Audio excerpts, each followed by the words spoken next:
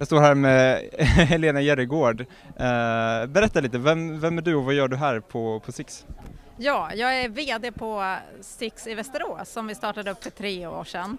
Och eh, då var vi ganska få, eh, två halvtider ungefär som startade upp för att vi tyckte att det fanns ett behov i Västerås av att ha ett forskningsinstitut. Det var det första forskningsinstitutet som startades i Västerås.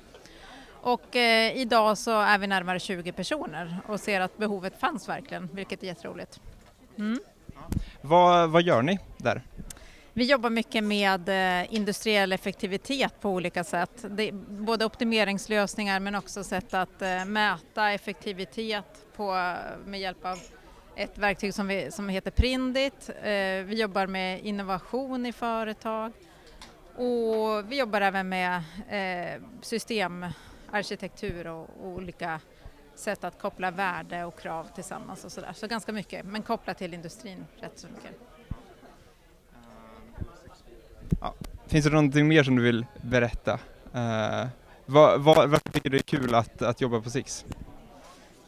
Ja, jag tycker det är spännande att ligga i mellan akademin och industrin eller, eller även med offentligheten. Att vara i framkant, eh, vara den som liksom ser till att vi är konkurrenskraftiga även imorgon. Och där har ju vi en roll att fylla och faktiskt en liten unik roll i samhället. Mm. Tack så jättemycket.